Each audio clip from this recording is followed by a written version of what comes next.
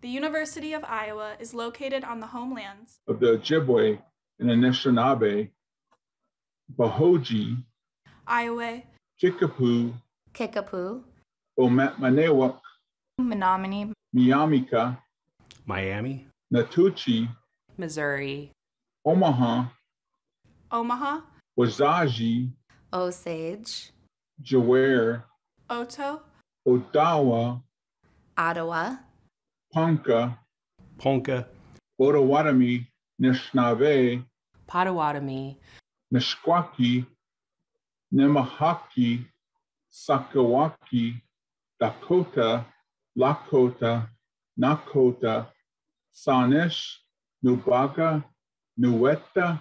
and the Ho Chunk Nations.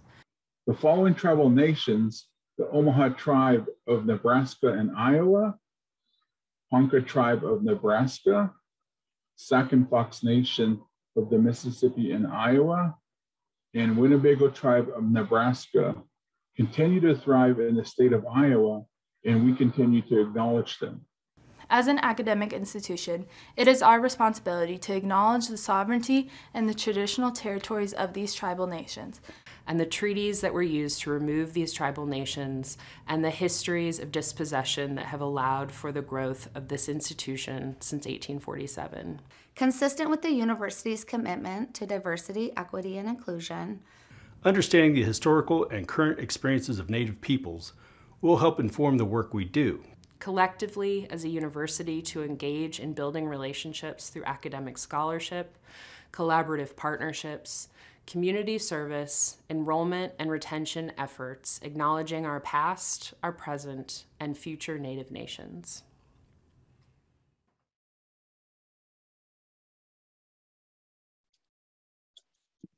Welcome to the Stanley Museum's Grant Wood Fellow Talk, A Growing Pain, Self Meditations, Chronologies, Surrendering. Who am I now? with Jonathan Payne. I'm Kimberly Datchuk, Curator of Learning and Engagement. Jonathan Payne obtained a BA in art from Rhodes College in 2012 and received his MFA in painting and printmaking from Yale School of Art in 2018.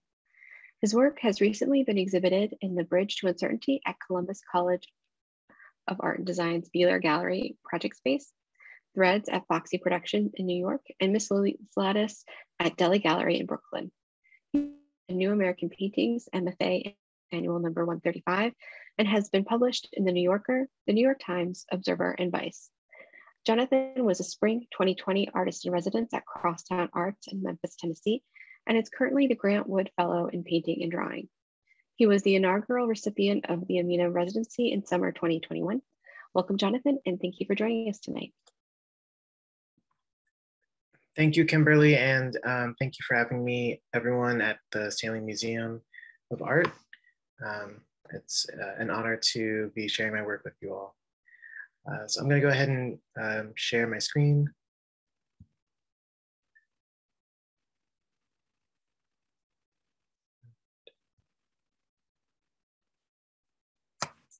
So when I brainstormed this talk, I, I thought that um, I thought that sort of engaging it from a different vantage point of the uh, from the standpoint of being the artist and also like sort of taking into consideration um, yeah just like sort of how uh, navigating an artist's life during the pandemic um, has impacted me and has impacted my perceptions on um, on my own perception of of what I'm doing and um, and sort of the demands of maintaining a specific type of trajectory or career as an artist. Um, so uh, there are some things that, uh, like basically, there. I, I just like to show you all what I have been doing over the last sort of year, um, the yeah, almost nearly year and a half, um, and some of this will overlap with my previous talk, um, just because um, a year is not a whole lot of time. Um, but uh, yeah. So I wanted to revisit an exhibition that I was in in New York City beginning of 2021 called Threads, as noted in um, Kimberly's introduction. And this exhibition was um, really an, an awesome opportunity um, for me to sort of have my work contextualized alongside other um, queer artists working within an expanded tradition or and or context of um, fibers and um, fiber-based art practices. And so um, in the foreground, uh, Steve Franke's um, needle um, point embroideries are installed and then three of my gridded paintings and then a print by um, Ulrich um, Weller. And these images, I, I presented these images in my last talk. Uh, however, I, uh, I have some detail shots that I'm going to share of each painting in, in this presentation.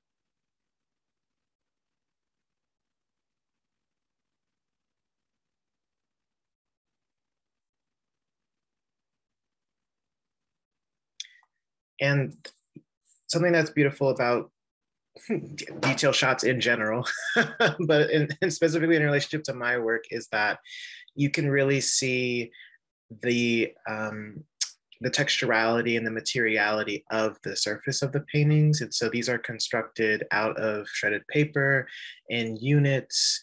Um, and then those units are then adhered and then um, embroidered together um, and then primed and painted over. So like I said, the texturality of the surface, the, the way that um, paint is, is, is mixing on the surface and overlapping on the surface that is really accentuated through the detail shots. And then um, sometimes just given the nature of this work, I, I may need to mend areas that get torn or ripped by accident. And so you can see in this image on the left, there are these two um, sort of rectangular, um, three actually sort of shaped um, pieces of paper that have been added on top of the, the, the line.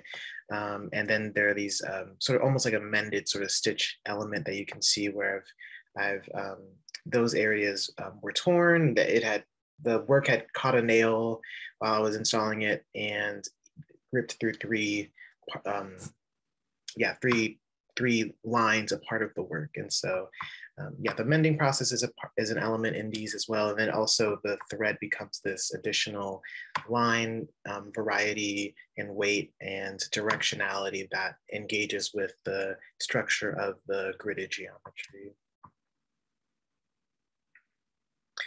Um, so at the end of last academic school year going into the summer, I um, left Iowa City to go to Columbus, Ohio, where I was the inaugural recipient of the Aminah residency. And the Aminah residency um, is uh, a new residency that is created um, by the Columbus Museum of Art as well as the Greater Columbus Arts Council. And together, these two arts organizations in Columbus, Ohio, are continuing the legacy of um, the late Aminah Brenda Lynn Robinson, a Columbus based visual artist, um, Black American woman, born and raised in Columbus, who um, was a 2004 MacArthur Genius Grant recipient, who um, made a lot of work about, across varying media, about her lived experience growing up in a predominantly Black neighborhood of uh, Columbus, Ohio, and, and also um, more broadly um, taking into taking um, um uh, influence from uh, African American history, um, such as you know the transatlantic slave trade, uh, the election of Barack Obama, a lot of different topics uh, and interests like went into her work, and so uh, her home was the site of both her living space and also her studio space for um, most of her adult career. Uh, and so this, um, house becomes the site of this residency. And so I stayed in Aminah's home um, for about three months and had the honor of, um, of, of, living and working there. And as you can see inside of the house there, um, there was a studio space addition added to the house. And so that is where the studio is located. But um, historically speaking, Aminah worked in every single room of the house. Um, it was a really amazing experience. This is the living room. Uh, every, nearly all the windows are completely filled in with these glass cinder blocks. So there's a lot of great bright indirect light. I had like a wonderful time uh, getting into plants and uh, growing plants in, in this space, but also just having this space to sort of, um, yeah, rest, relax, make work, um, and learn about this incredible person who contributed so much to, um, to art and art history, but is largely still um, under uh, historicized and, and under acknowledged for her contributions.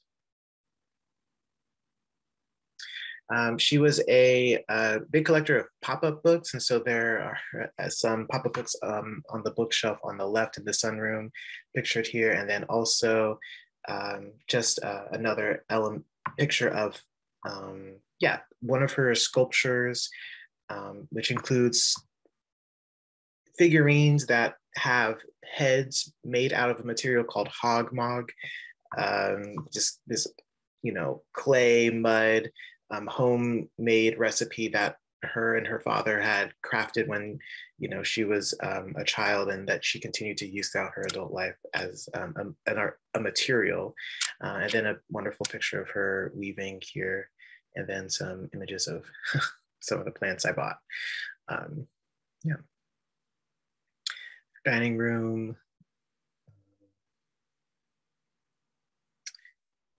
And a detail of her tiled kitchen floor. So um, when I say that she sort of in, in the whole entire house had uh, um, sort of sort of relics of her artistic making. She painted on the walls, she painted on the cabinets in the kitchen, she mosaiced tiled the um, the kitchen floor and you know with buttons and marbles and um, even her late son's teeth you know so she just every the home environment was very much an extension of her um, her canvas her her substrates her um, her art and it was really beautiful that um, in the renovation of the house in preparation for the residency that the Columbus Art Museum and the GCAC um, left these things intact. Um, and so this is a picture of works in progress that I had in Aminah's sanctuary, also known as her studio. And uh, this is uh, maybe a, a, cool image to see in comparison to, in relationship to uh, the uh, previous images of my work because this shows you sort of where the work is at a very formative stage. This is post construction, but pre priming and painting. And so, um, uh, yeah, these are these. This is all cut paper, and then um, the paper has been constructed, collaged together into these um, densely uh, geometric compositions. And this is just a picture of um, Aminah's books and collectibles in the living room of her home, and a great portrait of her on the left, and a reproduction of one of her prints on the right.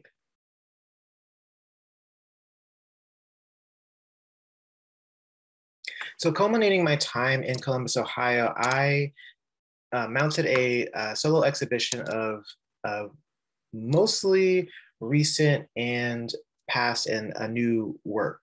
Um, three months is uh, three months goes by really fast, especially um, when you are in a new city that has uh, a lot of fun things to do. Sort of d- during the first wave of of, uh, of, um, of kind of returning from quarantine. So at you know maybe the precursor to hot vac summer. All of this is ridiculous language, but uh, all to say, um, I did not make as much work as I thought I would in Columbus. However, it was an incredible opportunity for me to showcase the work that I have done and have accomplished there. So, um, so I'm very appreciative of the new audiences that I was able to um, to to meet and and bridge with with this experience. And and to some regards, that also is uh, informing the title of this show, which is called A Bridge to Uncertainty.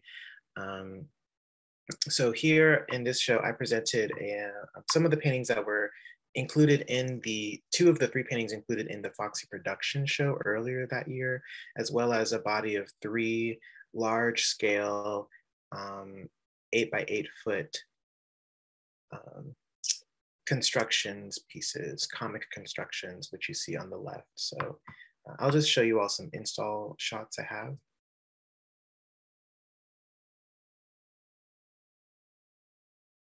And these three pieces are made out of shredded comics and they are made in, um, in grids of three by three 30 inch panels.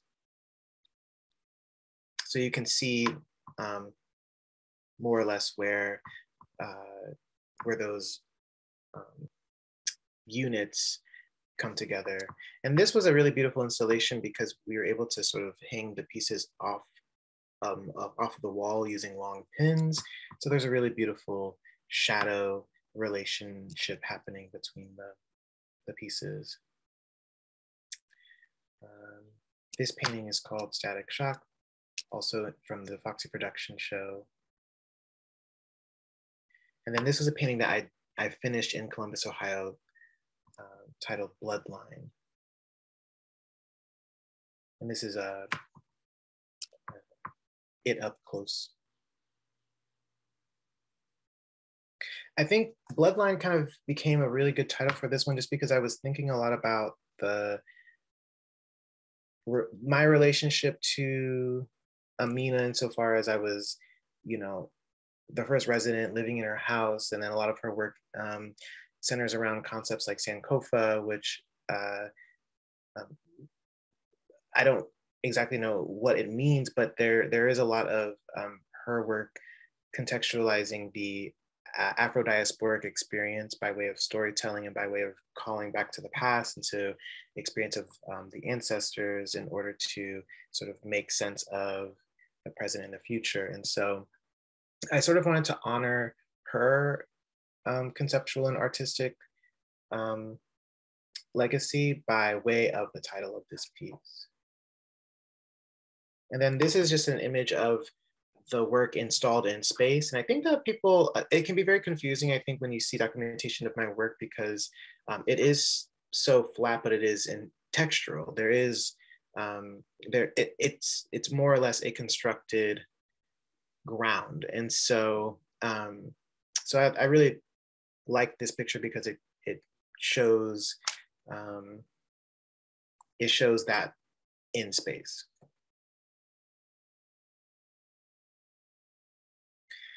Uh, so I returned here to Iowa City after my time in Columbus, Ohio, to do a second Grant Wood Fellowship year. And I'm uh, very fortunate to have had the opportunity to do that.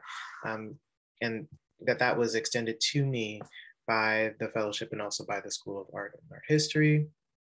And one of the first things, um, one of the things I, I, that occurred upon returning was um, the mounting of the 2019 to 2021 Grant Wood Fellows exhibition. And this exhibition, um, uh, I guess was a long time coming just because, you know, every year an exhibition is held, but because of the pandemic that um, the 2019-2020 cohort, their exhibition was put off. And then, um, you know, Elena and myself both being 2020, 2021 recipients uh, of the fellowship, um, it just made sense to sort of combine um, combine the cohorts in order to have a, a, a multi-person exhibition.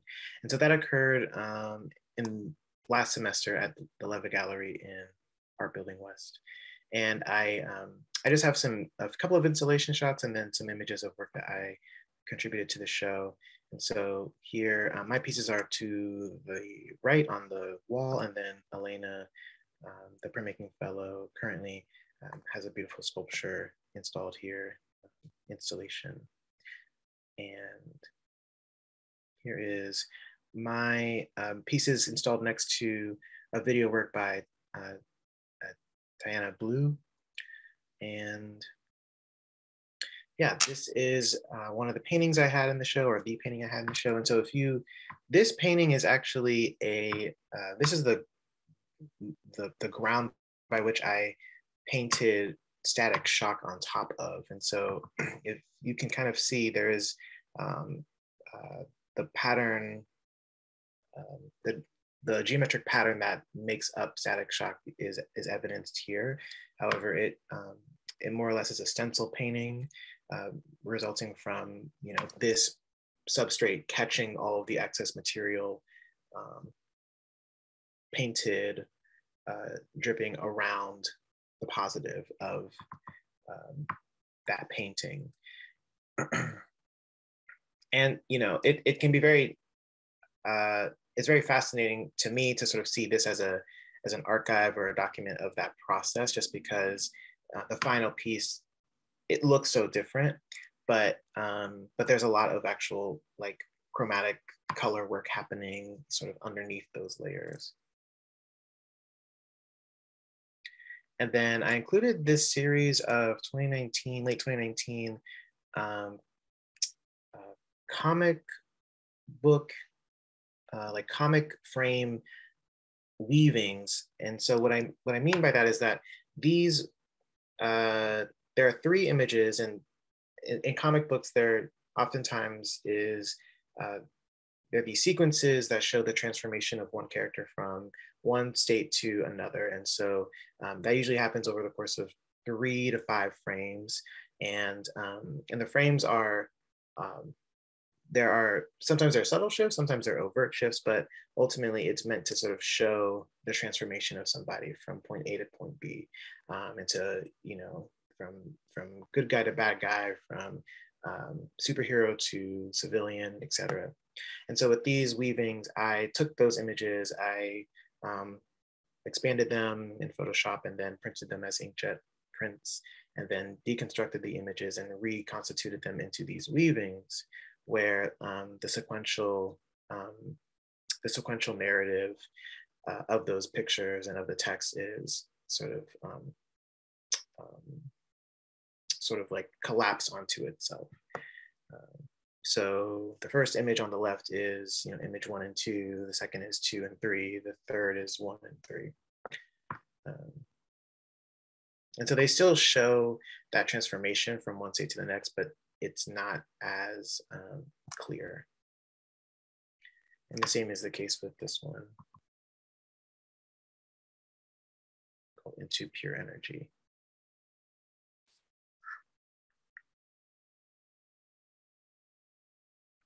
And I wanted to include some images from my sketchbook in this lecture. I think uh, sketching for me this past year has been very helpful because um, the nature of my work can be very time intensive, can be very repetitive, is very process based. And so um, sometimes it's nice to work on things that are a little bit more quick and immediate and um, that, that don't um, requires so so much um, conceptualizing. And so um, so these are just some images from my sketchbook.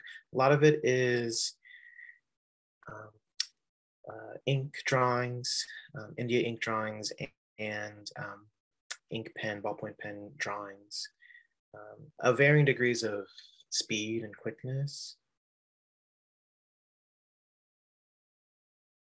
And you know the subject matter is not something that I'm super caught up on or pressed about. I um, sometimes it's just a matter of moving the material around. Sometimes it's um, just kind of informed by um, by things I like. Flowers seem to come up a lot in these, and then also like these these sort of um, patterns or or like drawn tapestries that um, include more sort of um, abstracted but more like overt uh, reference to um, things like phalluses or um, or orifices and et cetera, et cetera. Um, things that aren't necessarily things that don't that don't show up in my gridded abstractions, like and things that I don't necessarily um, know if I I want to be read as as anything phallic or whatnot, but um, but the but the sketchbook is a space where where a lot of um, a lot of that play and you know more overt queerness can come out.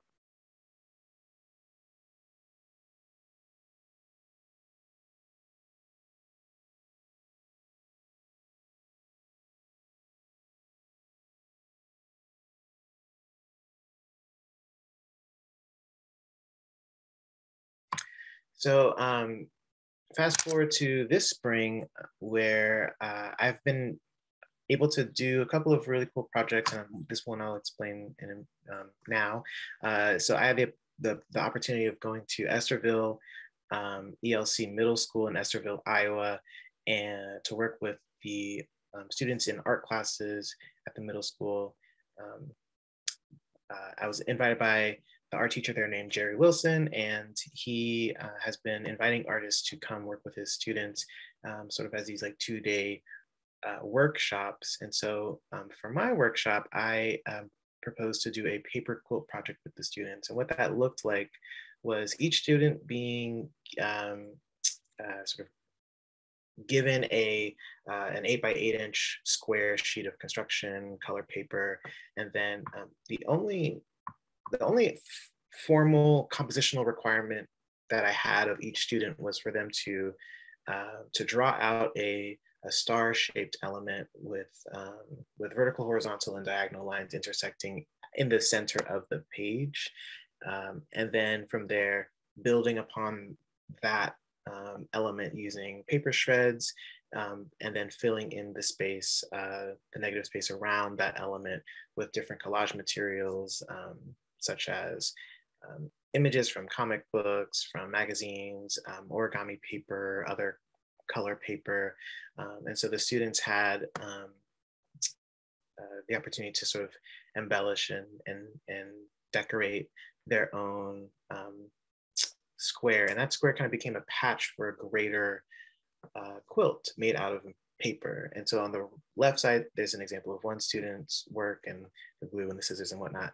And then on the right is uh, these elements laid out in um, what, what was then the uh, quilt to be constructed. And so I conjoined all of their elements together to create uh, two large scale paper quilts. And this is the result of the two days um, of the workshop. And so on the left is day one, right is day two. And they were installed in the hallway, uh, one of the hallways of the, um, of the middle school.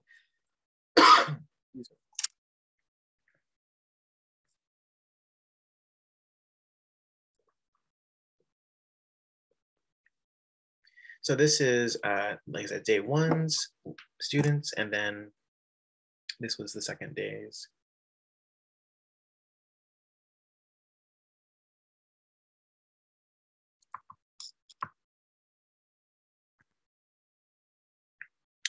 And um, I'll end on um, with an exhibition that I just um, mounted and, and called A Ground to Stand On. And this is an exhibition that is culminating the uh, work of the spring 2022 graduate painting and drawing workshop participants.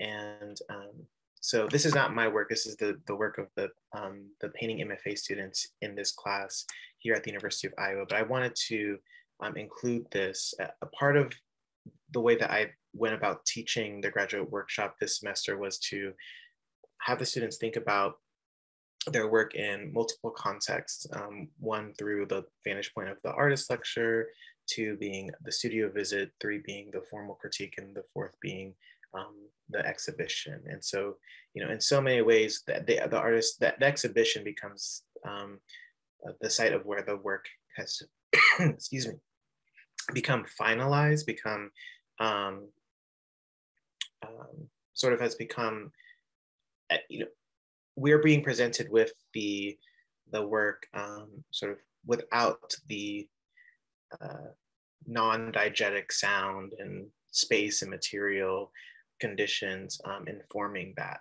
And so um, um, I wanted to sort of build the class around the idea that all of those things outside of the context of the exhibition are important and, informative. Um, but to be clear, this takes the, the formal sort of conventional, um, uh, you know, it takes the, the conventional approach to an exhibition.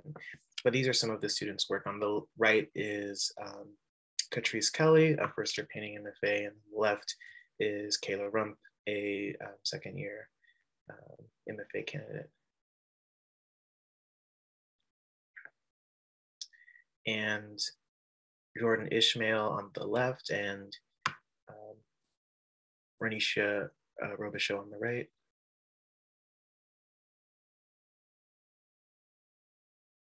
Brooks Cashbo on the left, um, uh, Sophia, uh, forget her last name. I'm sorry, Sophia. but her sculpture is in the middle, and then George is again on the on the right.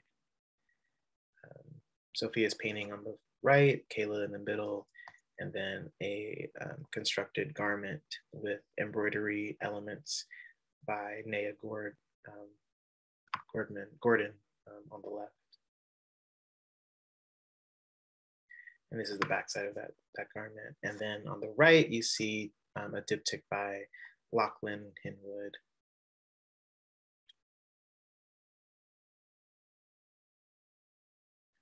And I kept it short and sweet this year. So that is, um, that is my presentation. Um, and I'm happy to answer any questions that uh, you all may have. Thanks, Jonathan. That was fabulous. Thanks for walking us through what you've been up to in the last year. Um, questions can be put in the Q&A Q&A box um, and we'll, I'll pose them to Jonathan for you. Um, I'll kick it off with a question that I had as I was looking through all of the work that you showed, especially when we got to your sketchbook, it became clear how much playfulness is a part of your process. Um, but looking at especially the cut paper, it's not immediately obvious that that is so integral to your thinking and working through ideas. Um, I think it's a little bit more, it becomes a little bit more clear when you were showing the um, example of the splatters that happened um, when you were painting and laying the cut paper on top from Untitled 2021. Um, do you feel um, a tension between playfulness and kind of the accuracy and precision needed to do the cut paper. Um, how do you kind of think about that, the place of playfulness in your process? Yeah, that's a really great question. I would say that playfulness in the in the practice or in my process, I, I would say maybe can be synonymous with with maybe speed, like slowness and fastness. And so the there there is a a very felt difference in the experience of painting the constructed objects as it is constructing them. The construction process where I'm I'm taking the paper shreds and I'm um, I'm adhering them and, and and and thinking about how lines are interlacing on to one another. That process is um, it's meditative and it's it's calming, but it also can be kind of overwhelming when I know um, I have like 40 more hours of this to do.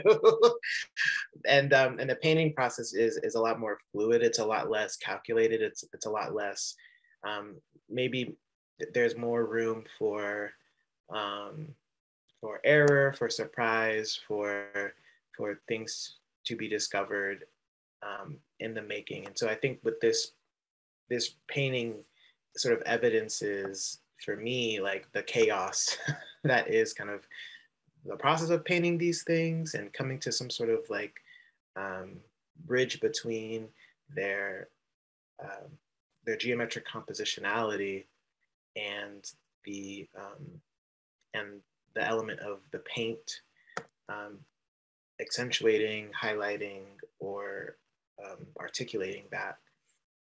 but I think that like the playfulness comes in the drips and it comes in the um, conditions of the of of seeing what happens when the paint breaks away from the um, the, the structure and let's say rigidity of the pattern. And um, and so I guess the playfulness comes in with the things that I allow myself to not be in control of. And um, and that that often is very exciting and satisfying because um,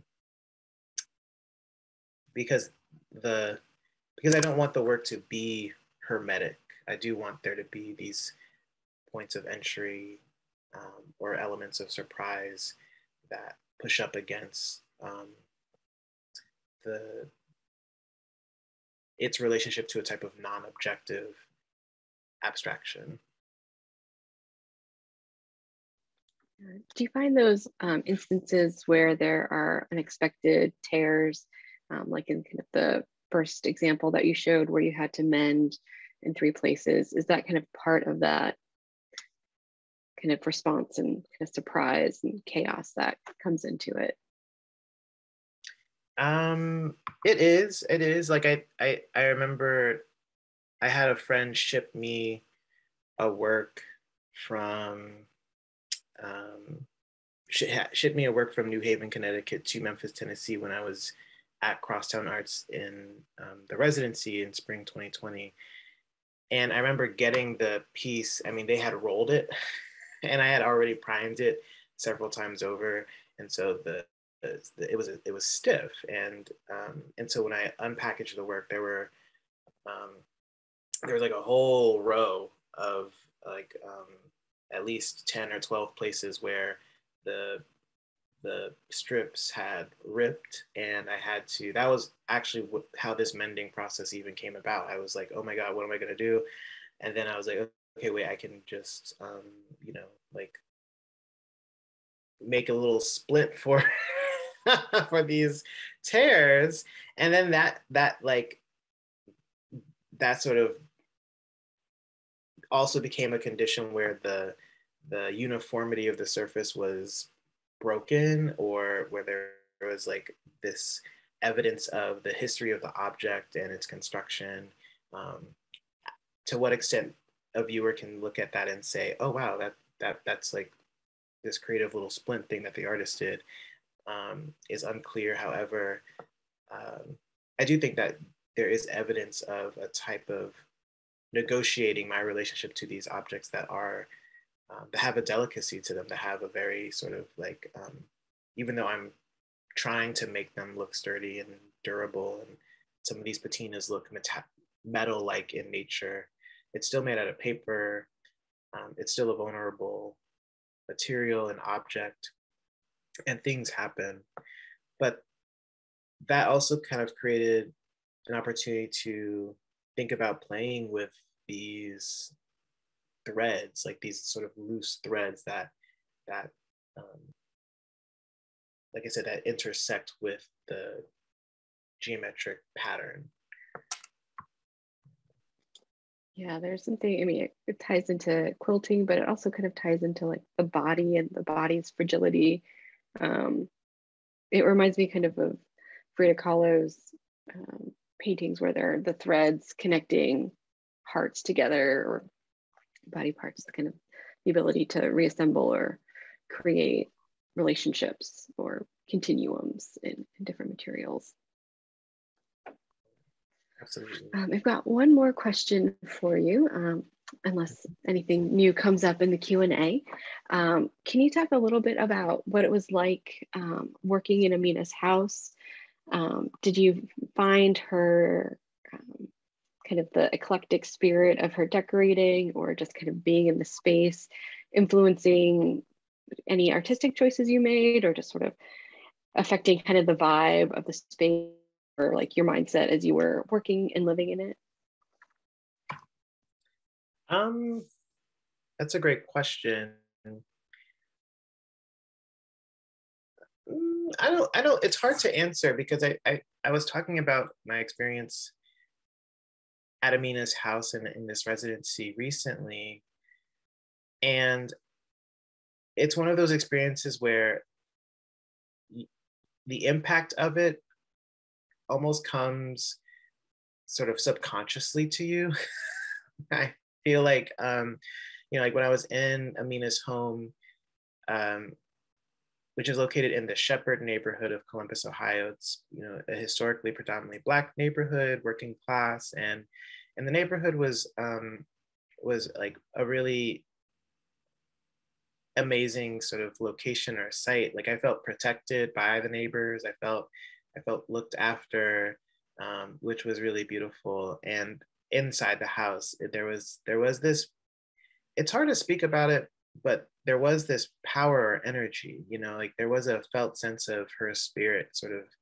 Um, I think being present there, and and and so I think for me there was, I felt pressure in the sense of her legacy is so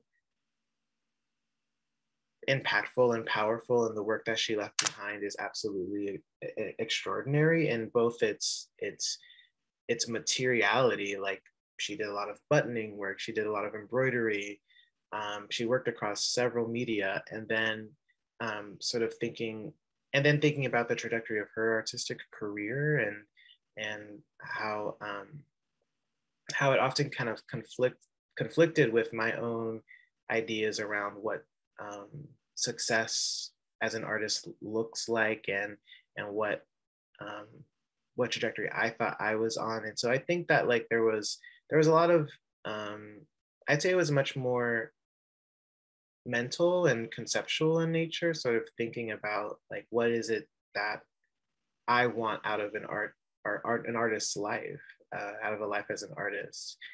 Um, because for Aminah, it was, you know, art defined her daily lived existence. Like she worked 20 hours a day. and, um, you know, and there's some aspects about her practice that um, seem seem really intense to me.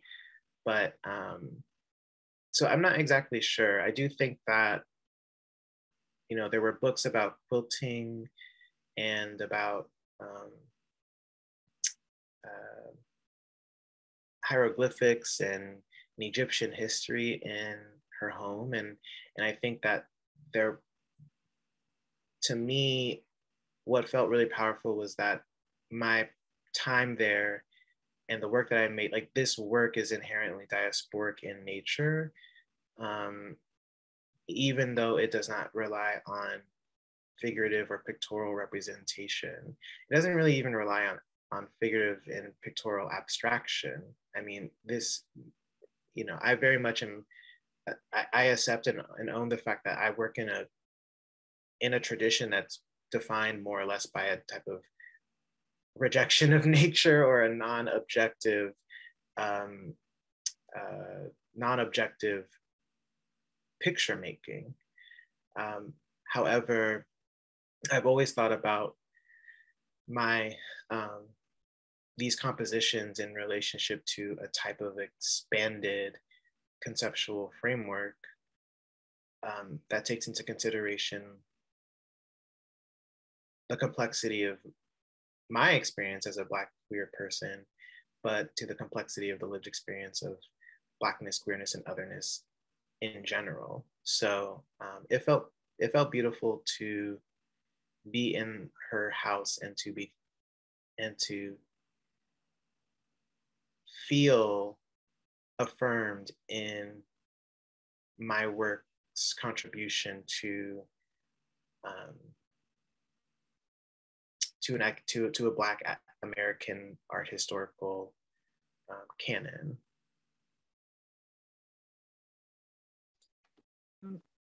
Well, thank you, Jonathan, for joining us tonight, for sharing your work and answering our questions in such a thoughtful and expansive way. Um, I appreciate your time. Um, and thank you everybody for joining us. Thank you all. It was a pleasure.